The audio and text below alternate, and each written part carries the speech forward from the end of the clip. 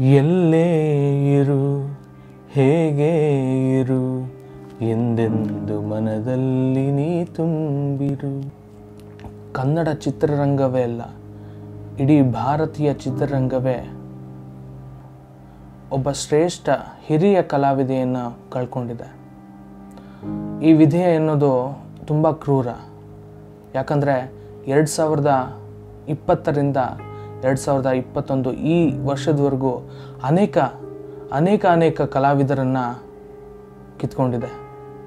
ತುಂಬ ದುಃಖ ಆಗುತ್ತೆ. ಯಾಕಂದರೆ ನಮ್ಮಂಥ ಕಿರಿಯ ಕಲಾವಿದರಿಗೆ ಅಥವಾ ಮುಂಬರುವಂತಹ ಉದಯೋನ್ಮುಖ ನಟರಿಗೆ, ನಟಿಯರಿಗೆ, ಎಲ್ಲ ಕಲಾವಿದರಿಗೂ ಒಂದು ಸ್ಫೂರ್ತಿಯ ಸೆಲೆಯಾಗಿರತಕ್ಕಂತಹ ಹಿರಿಯ ಕಲಾವಿದರು ನಮ್ಮ ಜೊತೆ ಇಲ್ಲ ಅಂದರೆ ಅದೇನೋ ಕಳ್ಕೊಂಡಾಗತ್ತೆ ಆದರೆ ಹಿರಿಯ ಕಲಾವಿದರು ಯಾವತ್ತೂ ಅವರ ಸಿನಿಮಾದ ಮೂಲಕ, ಅವರ ನಟನೆಯ ಮೂಲಕ, ಅವರ ಪ್ರತಿಭೆಯ ಮೂಲಕ ಕನ್ನಡಿಗರ ಒಂದು ಎದೆಯಲ್ಲಿ ಸದಾ ಅಜರಾಮರವಾಗಿರ್ತಾರೆ.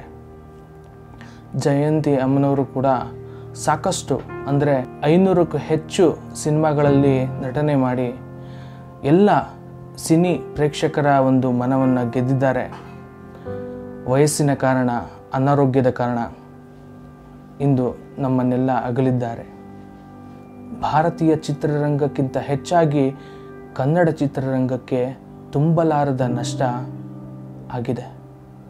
ಅಭಿನಯ ಶಾರದೆ ಜಯಂತಿ ಅಮ್ಮನವರ ಆತ್ಮಕ್ಕೆ ಶಾಂತಿ ಸಿಗಲಿ ಅಂತ ನಾವು ಈ ಮೂಲಕ ಅವರಿಗೆ ಭಾವಪೂರ್ಣ ಶ್ರದ್ಧಾಂಜಲಿಯನ್ನು ಸಲ್ಲಿಸೋಣ. ಇಂತಹ ಹಿರಿಯ ಕಲಾವಿದರ ಒಂದು ನಟನೆ ಆಗಲಿ, ಪ್ರತಿಭೆ ಆಗಲಿ, ಅವರ ಜೀವನ ಶೈಲಿ ಆಗಲಿ, ನಮ್ಮಂತಹ ಮುಂಬರುವಂತಹ ಉದಯೋನ್ಮುಖ ಕಲಾವಿದರಿಗೆ ಹಾದಿಯಾಗಲಿ ದಾರಿದೀಪವಾಗಲಿ ಹಾಗೆ ಇಂತಹ ಹಿರಿಯ ಕಲಾವಿದರ ಆತ್ಮವು ಸದಾ ನಮ್ಮಂತಹ ಕಲಾವಿದರಿಗೆ ಆಸರೆಯಾಗಲಿ ಆಶೀರ್ವಾದ ಸಿಗಲಿ ಅಂತ ಬಯಸ್ತಾ ಇವರಿಗೆ ಭಾವಪೂರ್ಣ ಶ್ರದ್ಧಾಂಜಲಿಯನ್ನು ಸಲ್ಲಿಸೋಣ. ನಮಸ್ಕಾರ.